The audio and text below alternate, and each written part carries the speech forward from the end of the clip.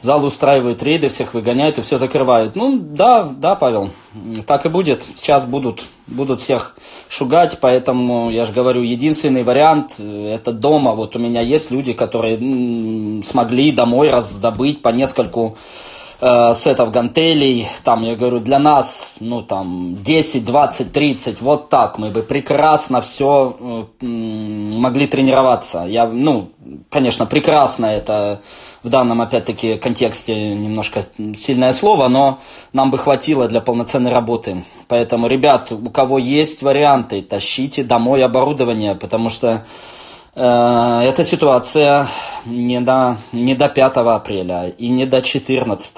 Ребят, надо всем нам мало того, что форма, форма бог с ним, пришла-ушла.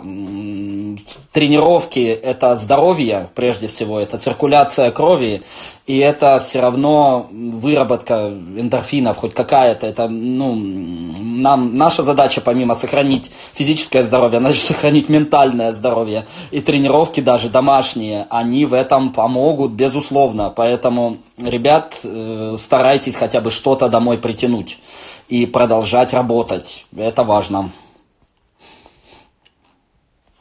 У нас тут в леса запретили ходить. За время карантина 7 тысяч человек по лесам гуляли.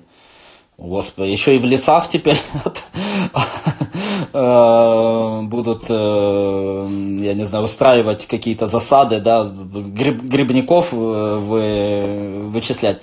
Ну, ладно, надо так надо, что называется. Другое дело, э, я смотрю на вот эту всю ситуацию, я никого не критикую, я просто Э, не закрыт общественный транспорт. В Москве не закрыто метро. То есть вы закрыли, ну, понимаете, спичечный коробок, проблему, там, тренажерку, там еще что-то, но вы не закрыли самый главный рассадник. То есть люди продолжают ездить в метро, в автобусах, в троллейбусах, друг на друге сидят, друг другу в лицо чихают, друг другу там потом лезут там в рот и в уши и не поможет никакой карантин, пока работает общественный транспорт. Это, по-моему, совершенно ясно. Но так как его не закрывают, поэтому мы будем продолжать сидеть дома, а кто-то будет, ну, число зараженных, на мой взгляд, снижаться не будет. Смотрю, что есть атлеты-мужчины, которые используют фитнес-резинки при применении, при применении со штангой. Как вы относитесь к этому способу? Хорошо отношусь. Лишь бы, э, ну, как бы безопасно, да, все это делали, научились, э, чтобы это все никуда не отстреливало там и не убило ни, ни его, ни домашних, то это, конечно, способ утяжеления. Почему нет? Даже, очень даже хорошо отношусь. Добрый вечер, Виталь. Наконец весь эфир спокойно посмотрю. Ну, да, участвуй что-нибудь, спрашивай меня. Хоть мы с тобой и так постоянно на контакте, ну, это самое, может, какой у тебя есть тема. Вот, чё-чё, а поговорить сегодня можно долго и не спеша.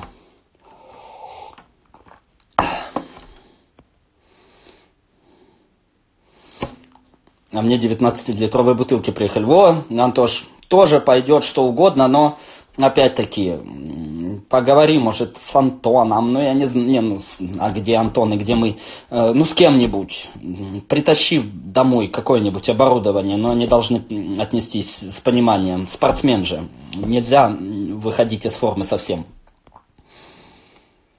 Ну, отлично, я за вас рада. Мы ничего, условия ужасные, у нас вводят, как в Москве, строгий карантин, сидеть все дома, магазин, вот что вводят. Ну да, Катюш, но это везде введут. То, что у нас пока не ввели, это, это вопрос времени. Это сегодня-завтра тоже ведут. Это, я морально к этому готов, поэтому, ну, терпим, что делать, ребят. Я предлагаю не впадать ни в какие паники, истерики, просто настроиться. Вы знаете, все в жизни зависит от э, головы нашей. У нас все проблемы и все радости у нас все в голове. Как меня часто спрашивали, как ты летаешь, например, в Бразилию, да, когда я туда летал. Очень длинный перелет, э, больше 50, ой, больше 50, больше 40, 30 часов получается в сумме, да, от э, момента, как я уехал из дома к тому моменту, как я приезжаю туда. Там 32-33 часа, а то иногда и больше. И, вы знаете, если вот думать о том, что ой, как тяжело, ой, как плохо, ой, как я устал, ой, как я хочу там прилечь, ой-ой-ой-ой-ой, если вот, вот это собрание ой в голове держать, то это будет невозможно. Ты прилетишь просто убитый, расшатанный, размотанный, очень уставший. А если же настроить себя на то, что ну, ладно, потерплю, ничего, зато потом все будет норм, зато потом там то и э, физически легче. Так и тут я предлагаю, ребят, найти способ тренироваться дома. Э, как-то там, конечно, экономить деньги, потому что всем будет тяжело. Но главное не психовать. Не психовать. Я вот вижу, раз сколько истории о том, что там разводятся, дерутся. Во Франции количество домашнего насилия там резко выросло, там начали жены мужей, мужья жен там лупить, почем свет стоит. Это неправильно, это приведет, ну, это будет невозможно, потому что вот такие, ну, как там есть песня It's the end of the world as we know it, да, то есть это конец мира, каким его, мы его знали, и это, ну, здесь будут большие перемены.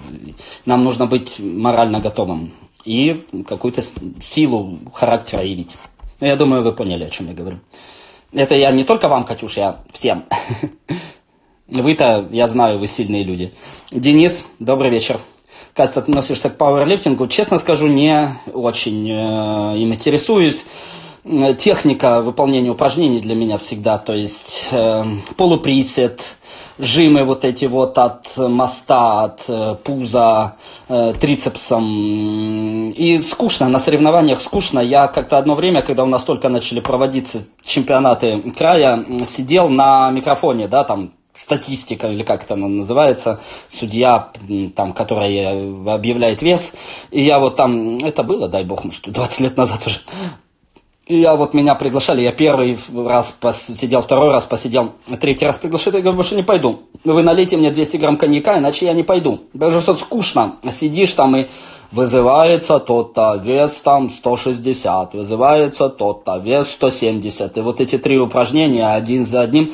В бодибилдинге все равно, ну, разные, там, хоть раз девочки вышли, там, такие, сикие, мужики здоровые, мужики худые, ну, какая-то картинка меняется, хотя она тоже, ну, достаточно однообразна, но разнообразие все-таки какое-то есть. В, в пауэрлифтинге, ну, одно и то же, одно и то же, одно и то же. Если ты не родственник и не какой-то там близкий друг выступающего, ну, прям, ну, скучновато смотреть.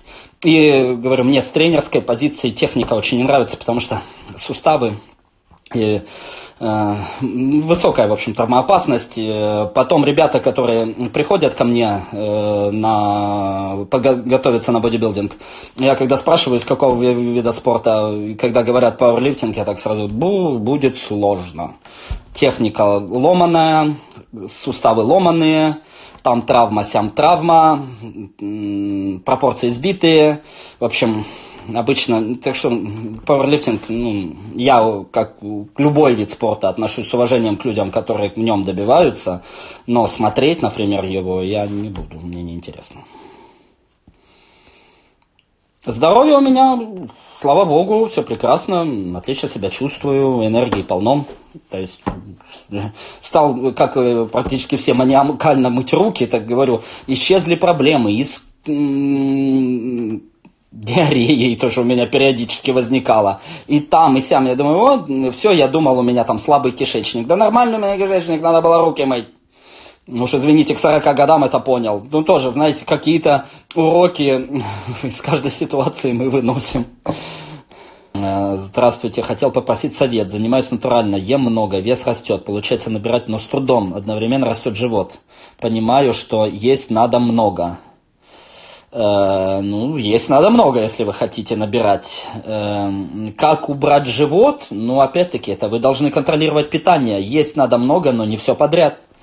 Вы должны правильно составить, э, сбалансировать ваше питание, найти то соотношение БЖУ, при котором вы будете расти без живота. Ну и, конечно, попытаться больше двигаться. Ну, сейчас, конечно, это будет сложно, но можно бегать по лестницам в доме, вам уж никто не запретит. Скоро денег не будет, пойдет оплата бартером. А каким? Я не знаю, что есть, чем мы можем друг другу, я не знаю, носки, носками, трусами, чем будем платить как найти разумную середину. Я вам не смогу сказать, по, ну, ничего не зная ни о вашем плане питания, ну, как найти подбором. То есть вы должны начать точно, что должны начать делать, это считать то, что вы едите, разбивать по БЖУ, сколько вы потребляете белков, жир, жиров, углеводов. Это точно надо начать делать. Э, и э, зная эти цифры, затем уже корректировать, э, пытаться подобрать под себя план питания. Потому что вот так вот сходу с потолка, то, что вы рост метр девяносто, я знаю, но это совершенно недостаточная информация для меня. И это можно только вот на контроле делать. То есть вы сами, если вы работаете без тренера, пытаетесь подобрать, пытаетесь найти то соотношение. Только, ну, как искать, найти разумную середину методом подбора. Но опять-таки для этого нужно точно знать, сколько чего вы едите. Вы должны взвешивать. Как посоветуете начать карьеру тренера, если хочешь не просто быть фитнес-тренером в качалке, а дальше добиться больших успехов в этом деле? Я частенько отвечаю на этот вопрос, и ответ всегда будет один. Тренер растет только вместе со спортсменом. У вас должен быть какой-то начальный объем знаний, то есть совсем прийти с улицы это сложно. На это потребуется больше времени. То есть вы хотя бы сами должны тренироваться или там иметь какую-то базу. Но сейчас это не так сложно, много очень информации. И затем, ну, уже начать кого-то тренировать с целью вывода на соревнования, если вы хотите именно спорт высших достижений. Может быть, себя, может быть, кого-то там из своих друзей, приятелей, в общем, не знаю. Но то, что я знаю точно, что в теории никто, только изучая теорию, никто не станет большим тренером. Тренер растет вместе со спортсменом. Только сталкиваясь с теми проблемами, э, с которыми, э, которые должен решить э, тренер выступающего спортсмена, вы сами сможете расти. Только так. Рома, здравствуй, здравствуйте. Сейчас вспомнили про подвальные качалки. Дома, из чего есть дома, из чего есть качаться. Кайф, ностальгия, молодость. Ну, кому как. Просто подвальные качалки сейчас тоже закроют и будут на контроле. И если даже э, наши правоохранительные органы не закроют их, то э, наши соседи и остальные благо, как бы намеренные граждане обязательно сообщат куда надо, что вот там те вот злые качки продолжают качаться. Хотя говорю, на мой взгляд, э, вреда вот с эпидемиологической точки зрения от качалки и от любого одного троллейбуса, который весь, ход, весь день прошел по городу, троллейбус значительно опаснее и страшнее. А их ходят десятки, десятки в любом крупном городе. Но я думаю, что по качалкам будет нанесен такой решительный удар, и когда мы в следующий раз даже в подвальные качалки сможем спокойно ходить, пока непонятно. У нас в парках люди шашлыки вчера жарили толпами. Ну да, говорю, люди у нас несознательные, мы не японцы, не, не корейцы. Нас, если вот так вот под ружье не поставить, мы сами туда не пойдем. Эм, при этом же те люди, которые шашлыки жарили, они потом громче всех будут орать, что вот медики, негодяи, там такие эти самые не справляются, там нам не помогли, там, там, там, там-то. Ну, я не знаю, как это назвать. Ну, глупость, наверное, просто и безалаберность. На Вишняках, наверное, чище, чем в фитнес-центрах. Вот именно, вот именно. Но это просто дикость. Это там в обычное время рассадник всех болезней. Потому что на таком маленьком э, участке территории столько народу, причем отовсюду. И, ой, ну, что мне говорить? Все, кто знает, что такое вишняки в Краснодаре, и сами понимают, о чем я. Как думаете, почему Россию не отменят соревнования? Я не знаю. Уже вроде бы ясно, что невозможно будет провести соревнования, так как готовиться негде. Абсолютно я согласен с вами. И я как бы понимаю, что комитет э, Проскурякова Наталья, с которой, у меня абсолютно уважительные там отношения, хороший человек, я давно ее знаю. Но нужно набраться мужества и сказать, что все, ну, это обстоятельства непреодолимой силы. Может, они чего-то ждут, что объявят какой-то, может, у них какие-то финансовые обязательства перед спонсорами или еще перед кем-то, и чтобы не понести убыток, они ждут какого-то объявления по всей стране чрезвычайной ситуации или в регионе, или что-то такое, может, поэтому, но перед спортсменами, конечно, получается очень некрасиво, потому что есть люди, которые до сих пор пытаются готовиться, которые до сих пор верят в то, что это все случится, хотя, ну, естественно, уже понятно, просто тут не надо быть ясновидящим, чтобы вы, ну, видеть, что никаких соревнований ни России, ни Европы в Испании, понятно, что в этом сезоне не будет. Э, в период, когда закрыты спортзалы, лучше использовать время для отдыха или сделать упор на тренировках дома, подтягивание, гантели, отжимания, наверное, да? Э, ребят, э, проблема именно в том, что закрытые спортзалы будут закрыты еще, ну, не они не откроются ни 5 апреля, ни 14, ребят, и не 30, поверьте мне. Поэтому форму надо поддерживать, все равно кровь надо гонять, надо тренироваться, надо, чтобы мышцы работали. Поэтому, конечно, дома, из чего можно, как можно, думать, изобретать, но тренироваться, потому что просто ждать открытия спортзалов можно прождать очень долго. Добрый вечер, как относитесь к, Лису, к Лисукову? Очень хорошо отношусь. Леша хороший парень, всегда был. Я как бы не то, что там лично с ним дружу, никогда мы так не общались. Я э, хорошо общаюсь там со многими спортсменами, вот даже с Сашо там, Каграманяном мы там встречались, как-то помню, ходили кушать вместе. Я так это ему пишу. Я с Лешей никогда так прям никакой личной дружбы не было, но а, ну, а что такого? Он большой чемпион, да, не добился того, что потенциально мог, но я его не осуждаю, у каждого человека своя жизнь, я не знаю подробностей, немножко жалко, но ничего, ладно, главное, чтобы счастлив был, чтобы делал то, что ему хочется. Он все равно многого добился в этом спорте. Большего, чем любой из нас с вами здесь сидящих. Так что кто мы такие, чтобы как-то его критиковать и осуждать? Добрый вечер. Посмотрели видео Семина? Посмотрел, посмотрел. Со многим согласен, многое э, спорно, но в принципе с, больше, с большей частью согласен, да качки начнут грабить, тащить залов штанги, гантели домой. Вот, вот за такое я, в принципе, за, потому что надо тренироваться. Если качки не будут тренироваться, то тогда вообще беда. Все, страна встанет, только на нас все и держится сколько по времени должна длиться домашняя тренировка, например, да столько, сколько и обычная, это может быть даже чуть побольше вам, во-первых, потому что веса меньше, и чтобы хоть как-то себя нагрузить, стресс дать, ну, тренируйтесь полтора-два часа, я уж думаю, точно каждый из вас выдержит. Если вы, тем более на таком, на выходных, да что вам, чем на диване лежать, что-нибудь поделайте, пресс поделайте, побегайте, голень покачайте, есть где поподтягивайтесь, то есть, э, а уж если гантели там есть, так это вообще сказка. Выпады с гантелями долблю. Во, да, я тоже буду. У меня и гиря есть. И, так что я тут и присед плие буду делать, смастерю там что-нибудь, не знаю, ну как-нибудь выйду из ситуации, конечно. Как качать ноги дома для меня загадка. Ну вот, что-то там делать, какие-то купить, может, э, большие вот эти вот э, с водой, да, хотя бы две, две, две по пять, наверное, можно держать. Ну, это надо придумывать, ребят. Я говорю, поэтому проще все-таки, не то что проще, но может быть есть какой-то выход найти гантели.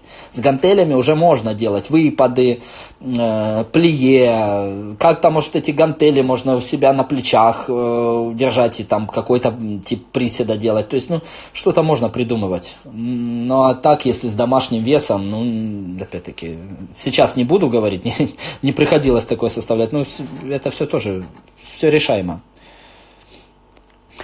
Отжиманий хватит для груди в домашних условиях. Ну, э, можно еще жемсвенда поделать. Я думаю, уж пятикилограммовый какой-нибудь Э, вес, ну блин, на, понятно, нет, ну что-нибудь придумайте, что дома есть и что может весить 5 килограмм, и таким узким хватом от груди можно пожать и попасть, конечно, немножко в трицепс, но немножко и в грудную тоже. Ну а э, отжимания так непременно. Посмотрите, может дома есть какие-то парные предметы, которыми можно жимы попытаться сделать. Типа гантелей, но не гантели.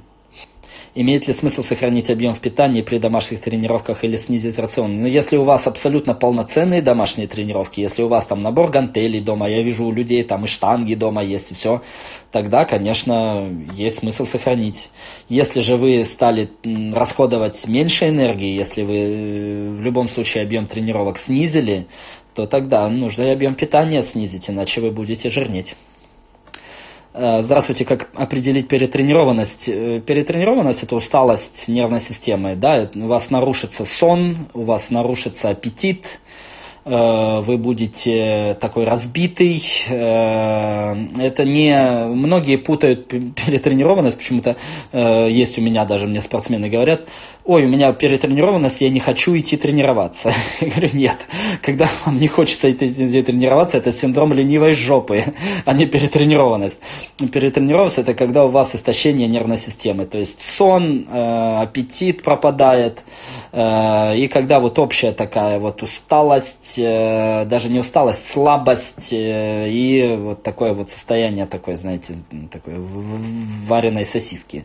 Но э, из перетренированности, конечно, сон это лучший выход, как всегда, лучший восстановитель.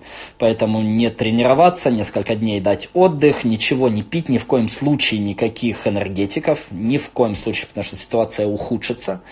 Просто прислушаться к своему организму, дать ему отдых и пройдет. Спасибо большое, вы профессионал. Спасибо.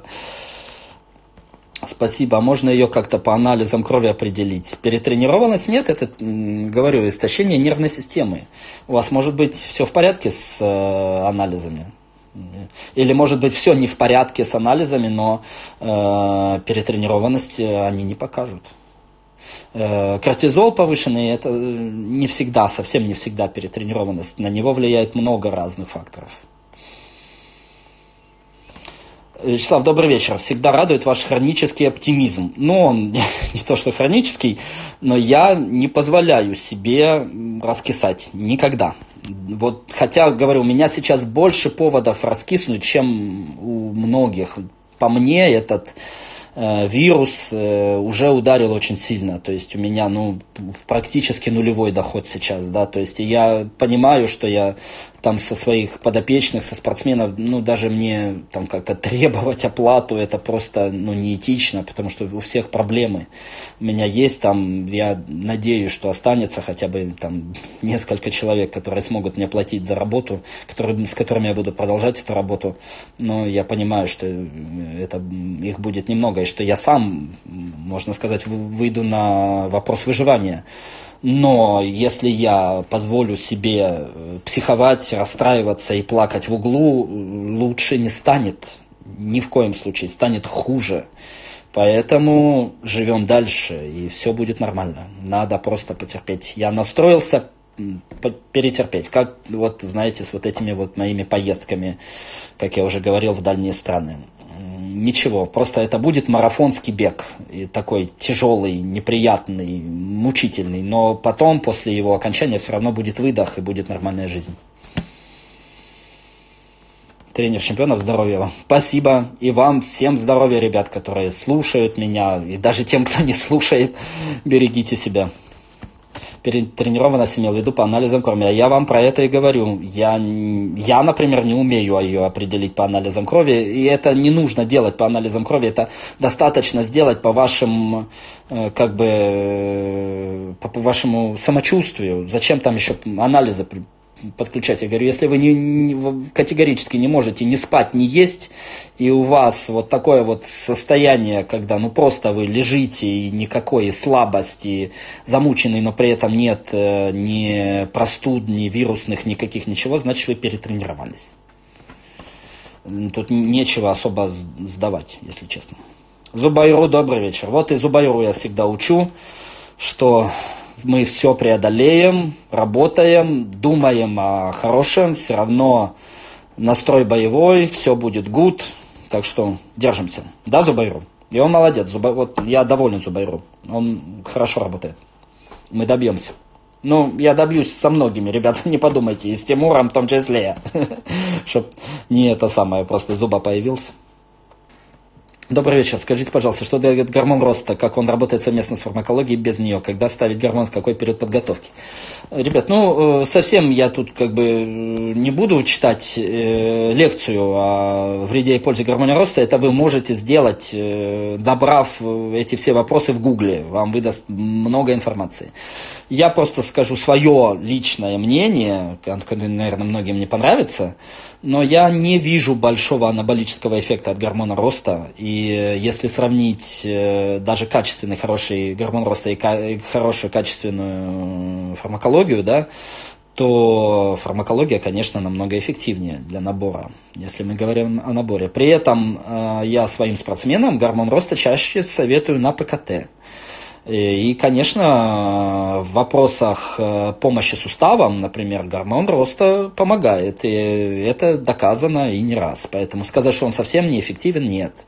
Но, на мой взгляд, он больше эффективен как э, антикатаболик, чем как э, анаболик. Да? И в какой период подготовки? Ну, я бы уже его ставил где-то, может, за 3-4 месяца до соревнований и отменял бы за пару недель. Где-то так но при этом не, никакие конские дозы, никаких 20 единиц в день, упаси бог, ни в коем случае. Я не вижу разницы в эффекте. То есть у меня спортсмены-то и не принимали его никогда в таких дозах, но я э, знакомый, общаюсь с людьми, которые это делали, и, на мой взгляд, никакого эффекта это не дает. Хотя, опять-таки, качественный ГР, ну, он, безусловно, помогает, особенно людям, у которых проблемы с суставами стоит ли идти в свой зал и все-таки поберечься? Ну, опять-таки, ребят, каждому свое. Если это лично ваш зал, и туда никто не ходит, то что вам мешает? Э, постоянно просто, опять-таки, или, или это там, ну, допустим, вы и ваша супруга, да, ну, ну, а если туда много людей ходит, то уже, конечно, в Подмосковье в основном это, ну, это риск. Другое дело, ну, ребят, то есть, если э, это не ваш личный зал, тогда лучше, наверное, не надо. Пожалуйста, и вам, вам всех благ тоже. Молодцы, что участвуете, ребят. Я тоже, знаете, отвлекаюсь, потому что много всяких плохих дум. И это самое. Я в эфиры, наверное, теперь почаще буду выходить, потому что я с вами в таком живом общении, мне и самому веселей. Приехал с отпуска, посадили на карантин, сказали две недели сидеть дома. Сиди, Илья, так и мы все сейчас сядем на карантин, поэтому разницы, что вас посадили с Лерой, что э, нас тут всех посадят на карантин, нет. Сидим на карантине дома, учим, я не знаю, кто какой язык.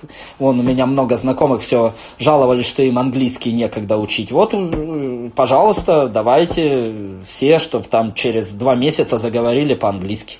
Я, наверное, там французский себе выберу, почитаю какие-нибудь книги, которые я не читал, посмотрю фильмы, которые я и так хотел посмотреть.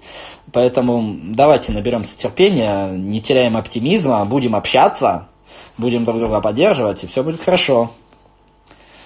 Пожалуйста, за эфир, ребят. Спасибо, что общались. Привет.